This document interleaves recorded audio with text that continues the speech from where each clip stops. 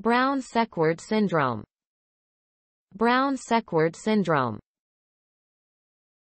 A neurological condition characterized by a lesion in one half of the spinal cord, hemisection, which results in weakness or paralysis, hemiparaplegia, on the same side, ipsilateral, of the lesion, and a loss of pain and temperature sensation, hemianesthesia, on the opposite side, contralateral, of the lesion.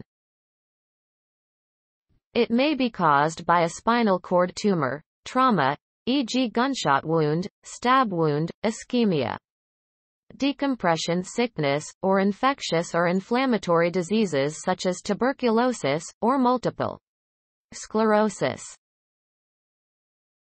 Damaged main neural systems which cause this condition, same side, upper motor neuron pathway of lateral corticospinal tract, same side, dorsal column medial lemniscus pathway, one or both dorsal columns, fine touch, vibration, two-point discrimination, and proprioception.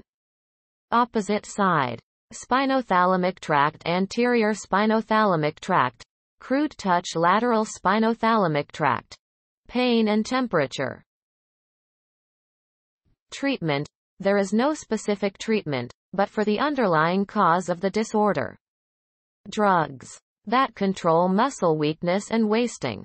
For example, soy isoflavone, trichostatin A, TSA, and cyclooxygenase 2, COX-2 inhibitors.